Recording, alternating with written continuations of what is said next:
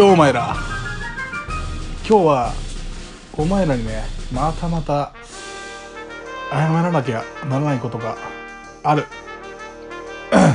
えー、もうね喉の調子が悪いので察してる方もいると思うんですけどあのー、この前の動画であのカップ戦のデッキ考察の前にまあきなこ餅の車でブラック日課と札幌黒ラベルを一気にゴクッとしちゃったよっていう動画をは報告をしたんですけど結局ねあの後温泉入ったりまた夜ね焼酎飲んだりしてなんか結局ね一番やっちゃダメなことをしたんだ。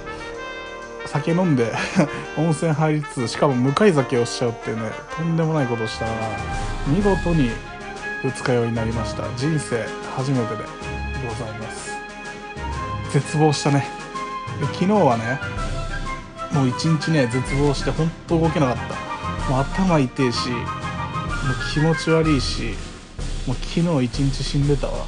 で今日はね、まあ、仕事だったんで仕事出てきましたけどねまだね若干頭の痛みは残ってますが、まあ、昨日みたいにねあの歩くたんびに頭ズキンズキンするほどではないがもう二日酔いの恐怖を知ったね。あのなんか友達とかで二日酔いになってるとさ「あざまあお前酒酔えんだ」みたいな感じでさ煽ってましたけどいや実際になるとねマジで絶望だわあれ。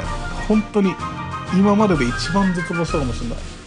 もう二度と飲むかって思った日課を。はい。っていう報告ともう一個ね。これもねこの前のカップ戦の動画の話なんですけどその日課のね写真を出した時になんか腕が太すぎるっていうコメントがね大量に来てましたけどあれはね申し訳ございません。詐欺写メですね。完全に詐欺だ。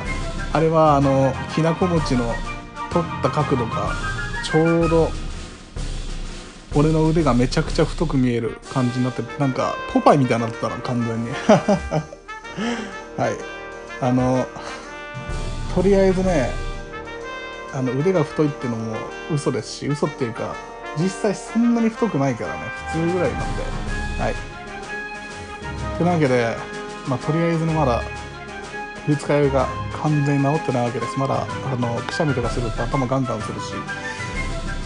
はい。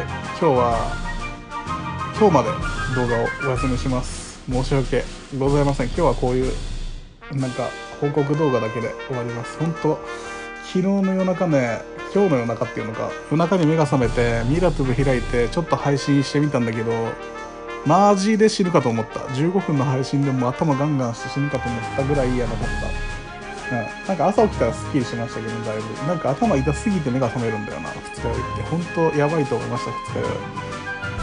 はい皆さんお酒は適度に飲みましょう。一気飲みはけません。最後にお前らチャンネル登録よろしく。今日はゆっくり休みます。じゃあな。